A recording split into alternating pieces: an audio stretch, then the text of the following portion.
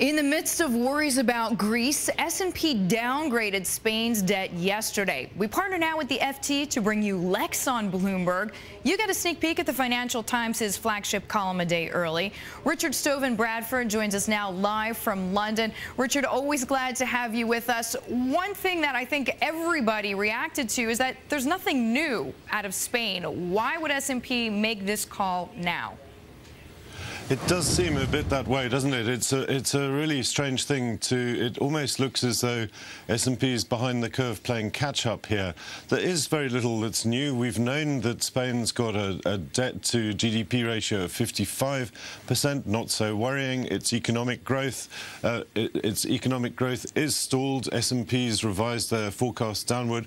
Don't forget, rating agencies are supposed to be forward-looking. So yes, they they reckon growth is going to be a, a more sluggish point 7% over the next years to 2016, the next five years.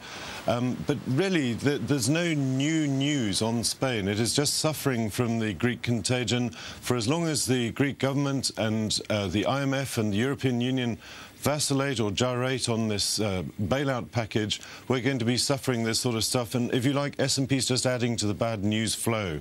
Richard, you gave us a really good statistic there about Spain's debt to GDP ratio and showing that it's really far from being as serious as it is in Greece. Yet Spain is, of course, a bigger country, a more important part of the euro. What happens if uh, just rates become, uh, borrowing costs become too high for Spain? It's more dangerous. Yes, uh, they, it, it's not so much a problem. They have got to raise 77 billion euros this year. So this is going to push up their borrowing cost. I think it's just gone over four percentage points. So that's a sort of headache it doesn't need. But its overall debt at 55% is, is half the um, ratio of Greece, which is on 110. So literally half. It's not as worrying. It's, uh, and this is the problem. There's a sort of bond vigilante negative sen sentiment swirling around. But it, it, the problem is that, for example, Ireland, which we talked about yesterday, has largely fulfilled its borrowing requirement for this year. Spain's still got quite a way to go.